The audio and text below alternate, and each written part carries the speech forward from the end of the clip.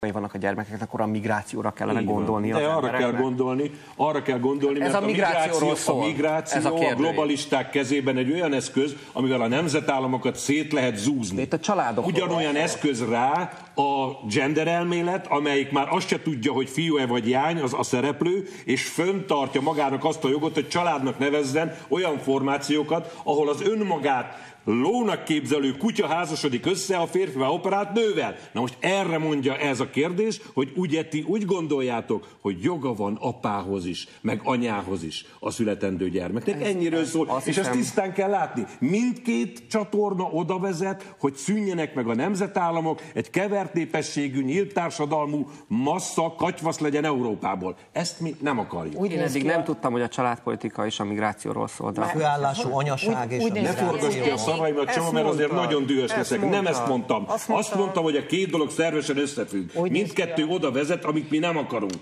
A logikai alap úgy néz ki, be